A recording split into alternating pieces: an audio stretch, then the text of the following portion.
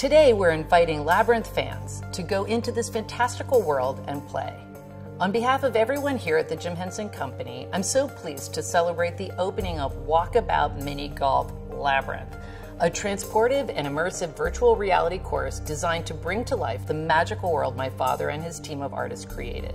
The course was created by true fans of Labyrinth and the work of Brian Froud, and it captures the feeling of the film, allowing you to not only inhabit the labyrinth and play some really fun mini golf, but also to meet up with people you know.